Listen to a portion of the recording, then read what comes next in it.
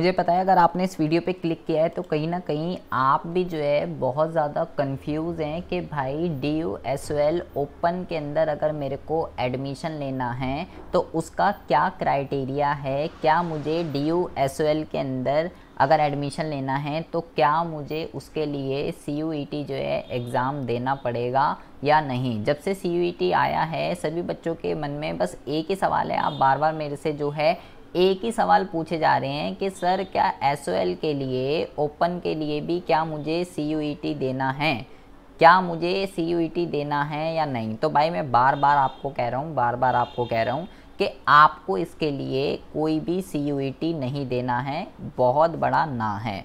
ना ना और ना। आपको एस ओपन के एडमिशन के लिए CUET नहीं देना है। सी e का जो एग्ज़ाम है, वो केवल रेगुलर स्टूडेंट्स के लिए है। अगर आप किसी भी यूनिवर्सिटी में, किसी भी सेंट्रल यूनिवर्सिटी में रेगुलर एडमिशन लेना चाहते हैं D U S O L open के लिए आपको किसी भी तरीके का कोई टेस्ट नहीं देना है।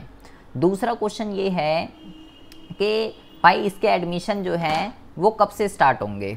कब से इसके एडमिशन जो है स्टार्ट होंगे? तो भाई, इसके एडमिशन के लिए आप बिल्कुल, आपको कोई टेंशन लेने की ज़रूरत ही नहीं है। इसके एडमिशन अभी स्टार्ट नहीं होने वाले हैं। अभी आप टर्म टू की प्रिपरेशन कीजिए, अच्छे से पढ़ाई कीजिए। इसके एडमिशन की जो बात है, वो बात होगी कम से कम मई में, ठीक है? मई मई में जो है इसके एडमिशन चालू होंगे और आराम से मई, जून, जुलाई, अगस्त, सितंबर, अक्टूबर, नवंबर, आराम से लेट फ़ीस तक जो है, अगस्त, अक्टूबर तक इसके एडमिशन चलेंगे। तो आपको जो है टेंशन लेने की बात नहीं है। अभी फ़िलहाल मैं अगस्त लिख देता हूँ, अगस्त एंड तक, ठीक है? अच्छा दूसरा क्वेश्चन ये है कि भाई इसके लिए जो है मिनिमम कितने परसेंट मार्क्स जो है चाहिए होते हैं D U S L open के अंदर अगर मेरे को एडमिशन लेना है? तो मेरे भाई इसका सीधा सीधा सा सवाल जवाब है।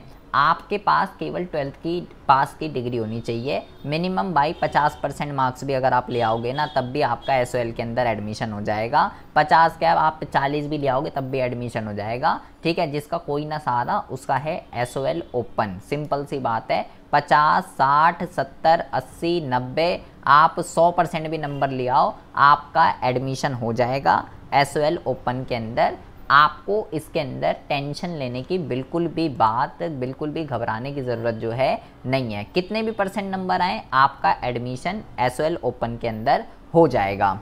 अगला क्वेश्चन ये है कि भाई क्या इसके अंदर भी जो है कट ऑफ़ निकलती है क्या? इसके अंदर अगर मुझे एडमिशन लेना है तो क्या कोई कट ऑफ़ निकलती है क्या कि ट्वेल्थ के मार्क्स के बेस पे जितने भी नंबर आएँगे, उस नंबर के बिहाफ पे जो है कट ऑफ़ निकलेगी? तो भाई यहाँ पे कोई भी कट ऑफ़ जो है, नहीं निकलती है किसी भी तरीके की। आपको बस पास हो जाना है ट्वेल्थ के अंदर। आपका जो है एडमिशन हो जाएगा। इसके लिए कोई कट ऑफ़ जो है नहीं निकलती है। ट्वेल्थ के मार्क्स ये कह सकते हो, यहाँ पे भी मैटर नहीं करते हैं। ठीक है जी?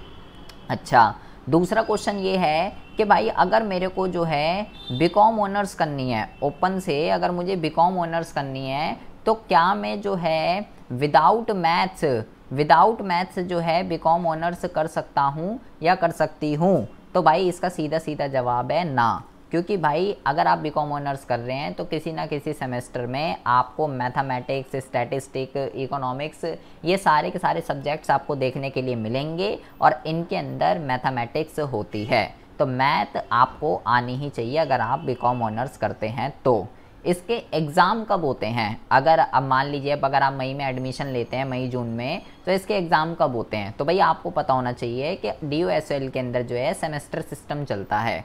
सेमेस्टर सिस्टम का मतलब होता है कि एक साल के अंदर दो बार ये एग्ज़ाम होते हैं। एक बारी फ़र्स्ट सेमेस्टर के होंगे, एक बारी सेकंड सेमेस्टर के होंगे। अगर अभी आप मई, जून में एडमिशन लेंगे तो आपका जो एग्ज़ाम है वो दिसंबर में होगा।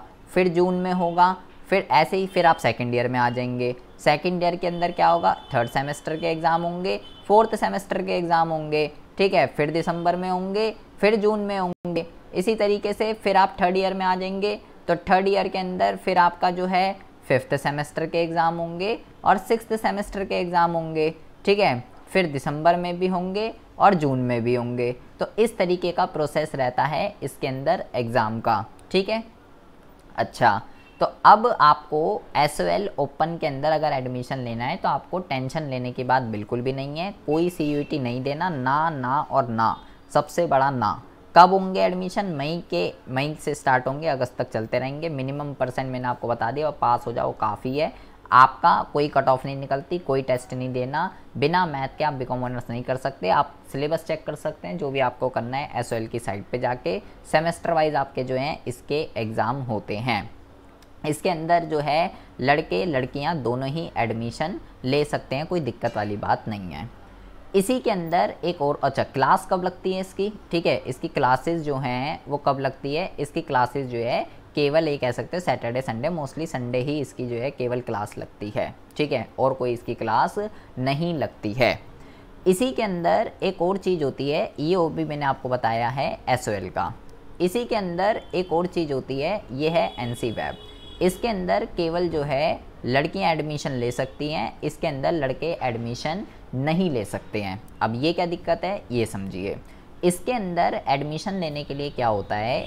इसके अंदर एडमिशन लेने के लिए कट ऑफ़ निकलती है। ठीक है? कट ऑफ़ कैसे निकलती है? इसके लिए ट्वेल्थ के मार्क्स जो हैं ट्वेल्थ के मार्क्स जो हैं, वो मैटर करते हैं। जितनी ज़्यादा आपकी परसेंटेज आएगी ट्वेल्थ के अंदर उतना अच्छा कॉलेज आपको जो है अलॉट हो जाएगा, जिस भी कॉलेज के अंदर आपका जो है नाम आ रहा है। लेकिन इसमें केवल लड़कियाँ ही एडमिशन ले सकती है, लड़के इसके अंदर एडमिशन जो है नहीं ले सकते हैं। इसमें कट ऑफ़ निकलती है। ठीक है ट्वेल्थ के मार्क्स जितने ज़्यादा होंगे 80 percent ninety percent ninety five percent hundred percent, उतना अच्छा कॉलेज आपको अलॉट हो जाएगा।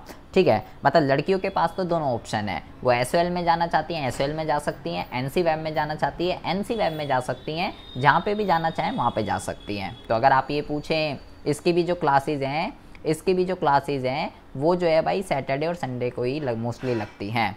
अब अगर आप ये पूछें कि भाई लड़कियों के लिए एस ज़्यादा बढ़िया है या एन वेब जो है वो ज़्यादा बढ़िया है ठीक है? तो भाई इसके एडवांटेज की अगर हम बात करें तो मैं बोलूँगा एन सी वेब जो है ज़्यादा बढ़िया है लड़कियों के लिए, ठीक है? लेकिन इसकी एक डिसएडवांटेज ये है कि इसके अंदर एन सी वेब के अंदर आप किसी भी तरीके का कोई ऑनर्स का कोई प्रोग्राम जो है वो नहीं कर सकते। आप इसके अंदर जो है नॉर्मल आप इसके अंदर बी कॉम कर सकते हो, आप इसके अंदर बी ए कर सकते हो, आप इसके अंदर एम कॉम कर सकते हो, आप इसके अंदर एम ए कर सकते हो। किसी भी तरीके का ऑनर्स कोर्स इसके अंदर नहीं होता। जबकि एसओएल की अगर हम बात करें, यहाँ पे आप B com B com honours B A B honours ये सारी की सारी चीज़ें आप इसके अंदर कर सकते हो, लड़के लड़कियाँ सबके लिए है। एसओएल के अंदर कोई कट ऑफ़ नहीं निकलती है, ठीक है? इसमें बस पास हो जाओ, आपका एडमिशन हो जाएगा, ठीक है? तो आपके जितनी भी कन्फ्यूज़न हैं, अभी भी किसी कोई डाउट है आपका एसओएल से लेके या एन सी वेब से लेके तो आप मेरे को कमेंट बॉक्स में कमेंट करके पूछ सकते हैं। ठीक है जी? तो मिलते हैं आपसे नेक्स्ट वीडियो में ऐसे इंटरेस्टिंग टॉपिक के साथ। तब तक के लिए have good day bye bye take care